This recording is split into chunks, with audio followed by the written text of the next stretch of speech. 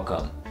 Wolfen NC500 and NC400 are two brand new color film products made in Germany by Orwo, a company known for black and white cinema film and their technical films for archiving and duplicating.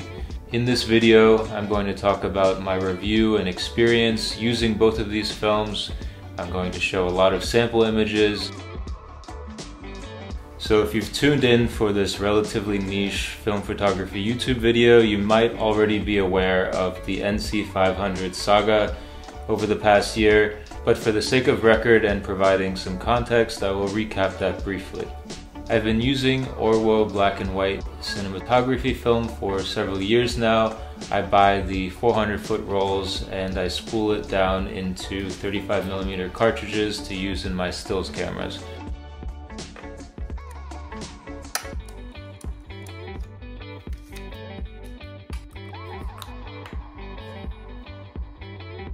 In the 2020s seemed to have several regional distributors and several lines of communication that were at times hard to follow. As a result of this, sourcing Orwo film stock was not always very straightforward. Lomography also repackaged some of Orwo's black and white cinematography films, namely UN54 and N74 Plus under the Potsdam and Berlin names. Then in February of 2022, they released an update on their Instagram to address some rumors that had been brewing about restructuring, as well as to reiterate their commitment to producing film products and to confirm a rumor about producing new color film in the near future.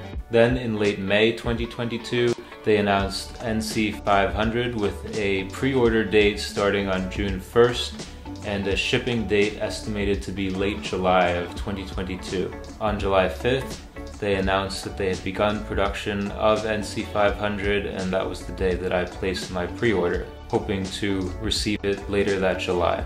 Unfortunately, that's when the delays began. Late July came and went with no shipping and no update. In September, some film photography YouTubers seemed to be able to get their hands on a couple of rolls and show us their examples. October was kind of weird because people seemed to be able to get their hands on NC500 at in-person events like Photopia in Germany, but there was no updates on the pre-orders that people had placed. Finally, December 22nd, 2022, they released an update on their Instagram feed apologizing for the delays and citing issues they had confectioning the film. They said that they had ramped up their production to 1,000 to 2,000 rolls per day and that shipping was imminent. In that same post, they claimed to have listened to us and said that moving forward they would be using plastic cassettes rather than the familiar steel ones because the plastic was more recyclable and eco-friendly.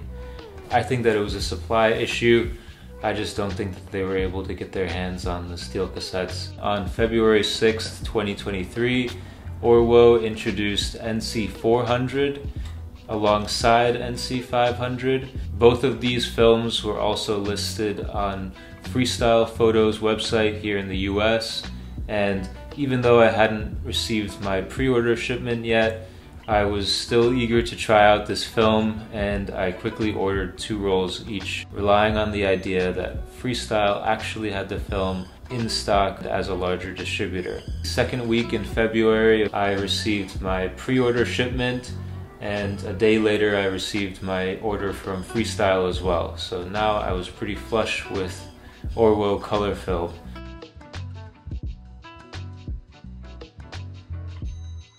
One thing to note is that the different films came all packaged a little bit differently. The original pre-order came in these aluminum screw cap canisters with uh, steel cassette.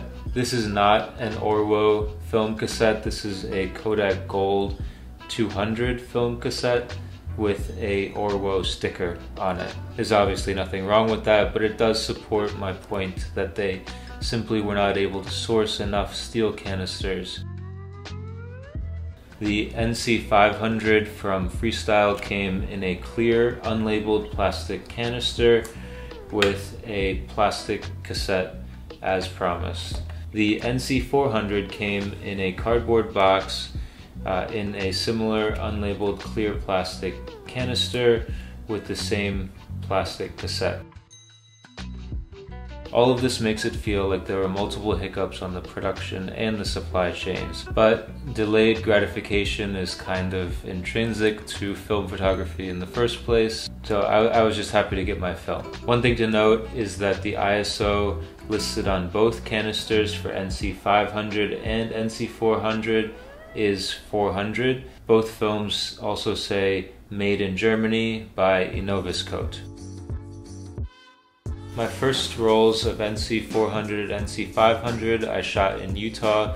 I was there with some friends skiing and exploring the salt flats. I shot both of them with my Leica M3, uh, which of course does not have a meter, so I metered externally and I treated it the way that I treat all of my color negative films, which is to err on the side of overexposure. The results were not bad, not great, and certainly not what I expected. Frankly, it kind of reminded me of expired film. I developed both rolls in the same tank at home in C41 chemistry with other rolls of Kodak color negative film to make sure that there was no user error in the development process.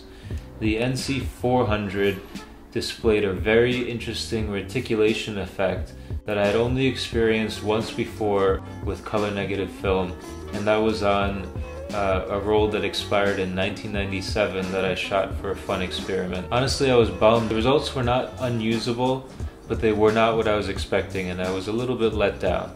But then, as I was reading more about the film and examining the datasheet for NC500, I was looking at the characteristic curve that they provided, and I'll put those on the screen now in a second.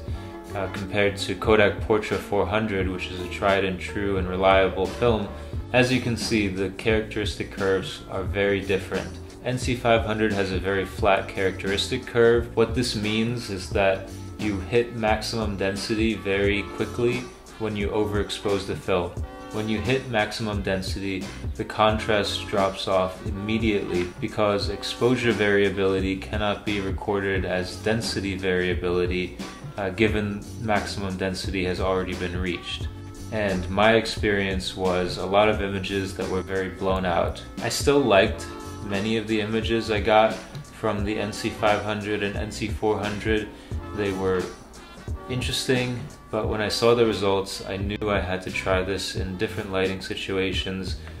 So for the next two rolls, I shot on my Nikon FM3A, which has a really good TTL metering system and I felt like that would help me achieve a higher frequency of exposure accuracy. And honestly, the results are some of my favorite photos that I've taken in 2023 so far.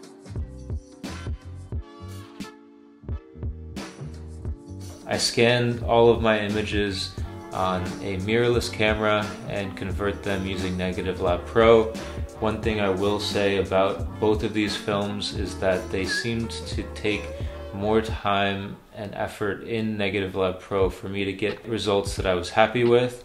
This could be just because I'm not used to working with this film and it is very different than any other color negative film currently on the market. I'm not positive that these are actually two different films despite the different names.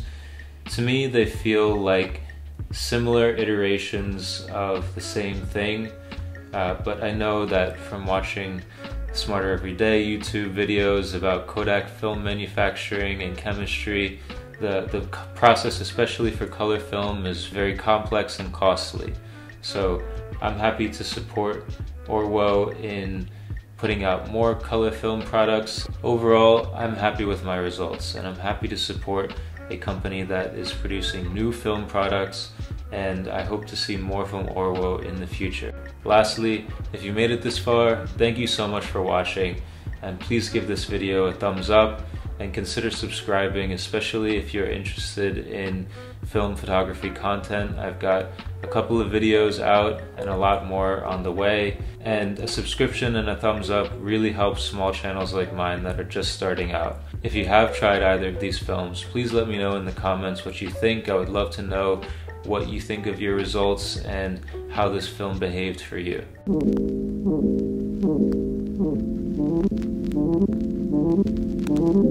Huh. Huh. Huh. Huh.